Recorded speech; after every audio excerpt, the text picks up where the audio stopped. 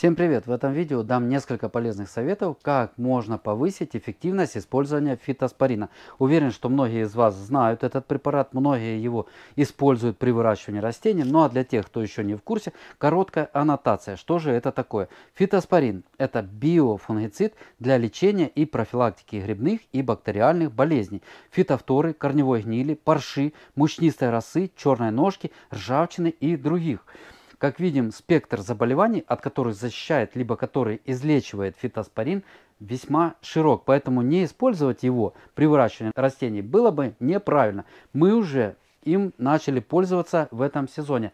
Развели согласно инструкции одну часть пасты на две части воды, получился маточный раствор и столовую ложку маточного раствора развели в 10 литрах воды. Вот этим объемом воды мы обработали грунт, в котором будем проводить выращивание рассады. Таким образом мы снизим риски возникновения черной ножки на нашей рассаде. Раньше мы рассаду от черной ножки защищали другими способами. Проливали, например, привикуром, либо перманганатом калия, то есть марганцовкой. Но согласитесь, выращивая рассаду в квартире, использовать чисто химические синтезированные препараты было бы не совсем удобно и не совсем правильно, если есть биологический препарат.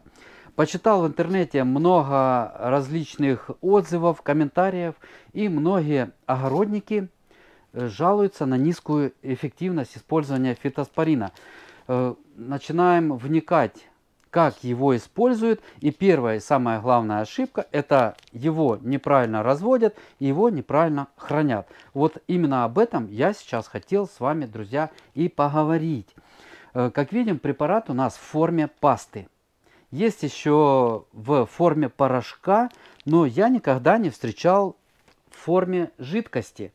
Многие препараты продаются вот в жидком состоянии, и это очень удобно. Почему же производитель не развел препарат сразу в виде маточного раствора, не в виде пасты, а в виде раствора? Это для примера, в принципе, мы часто встречаем многие препараты в жидкой форме, очень удобно использовать. Отмерили и все готово. Здесь же нужно немножко повозиться выдавить пасту, испачкать руки, развести, потом отмерять маточный раствор.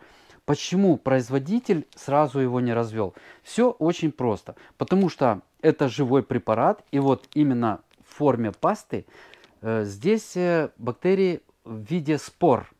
Они в состоянии покоя, они в состоянии анабиоза. Они спят, они минимально дышат и осуществляют свою жизнедеятельность. Поэтому в таком состоянии могут находиться бесконечно долго и в различных самых неблагоприятных условиях. При сильных морозах может храниться вот эта паста и при высоких температурах ничего спором не будет. Как только наступят благоприятные условия, они проснутся и начнут приносить пользу. В некоторых источниках я прочитал такие советы. Разводим вот эту пачку, она 200 грамм на 400 мл воды. Казалось бы, да, по инструкции так и написано. Одна часть препарата на две части воды. То есть пачка 200 э, на 400. Все это соединили, развели, закрыли в баночке и поставили в темное прохладное место. По мере необходимости открываем баночку и используем готовый маточный раствор на протяжении сезона. Но, друзья, все дело в том, что когда мы закрываем приготовленный маточный раствор, споры просыпаются, начинают усиленно дышать и питаться. Вот в ограниченном объеме им не хватает кислорода, им не хватает питания, и они начинают массово гибнуть. Эффективность приготовленного маточного раствора снижается. Э, через три дня эффективность может понизиться существенно а через 10 э, дней еще больше. И используя через месяц приготовленный когда-то маточный раствор, даже мы его приготовили по всем правилам, даже хранили по всем правилам, не на ярком солнце, не при высоких, не при низких температурах, все равно эффективность уже будет минимальная.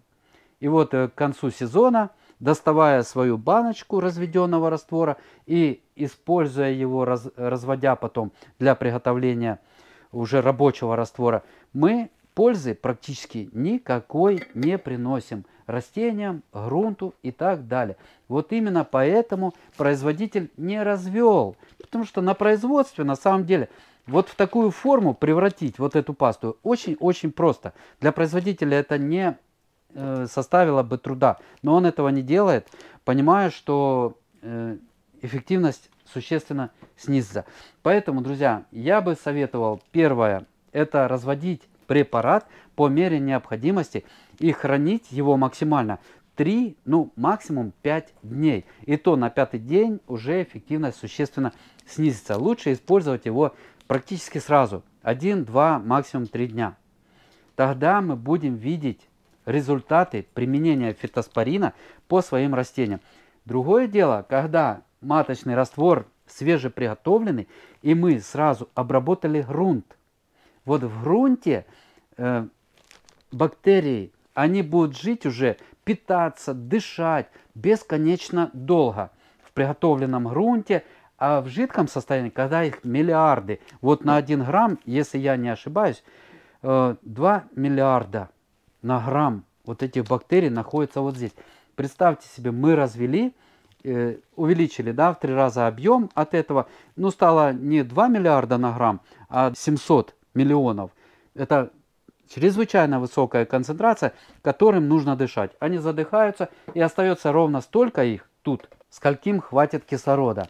Поэтому не разводите. Разводите по мере необходимости. Да, испачкайте руки, лучше руки потом помоем, но мы будем уверены, что препарат подействует. Э, вот наша пачка, которую мы уже использовали один раз. Мы выдавили сколько нам нужно пасты, подвернули и закрыли, не давать пересыхать. В виде пасты не пересушенной препарат так и должен остаться мягеньким таким. И храним в прохладном месте э, без прямых солнечных э, лучей. Это первое, что я хотел сказать. Но еще есть такой важный момент, какой водой разводить. Тоже услышал такие советы в интернете, что в горячей воде он разводится гораздо лучше.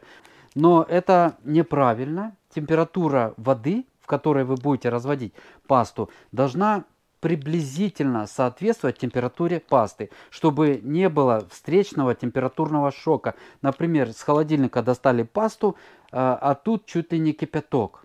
И вот э, холодные споры кидаем в кипяток, температурный шок и существенное количество спор может погибнуть. Именно не от того, что они не могут выдержать э, кипятка, их даже можно кипятить, но они не выдержат вот этого стресса. Вот таких два небольших, но очень важных совета по отношению к фитоспорину, которые повышают его эффективность, я и хотел озвучить в этом видео. Будем в этом сезоне использовать фитоспорин широко на своей даче при выращивании всех своих растений. Поэтому приглашаю вас присоединяться и будем вместе выращивать экологически чистые растения на наших участках. Кто еще не запасся оригинальным и приготовленным в соответствии со всеми технологическими требованиями фитоспорином, я ссылку оставлю внизу в описании под этим видео. У меня в руках фитоспорин торгового дома Кисон, город Запорожье. Так что переходите и действительно будете уверены, что это настоящий фитоспорин, который будет работать. На этом видео закончу. Спасибо за внимание. До новых встреч.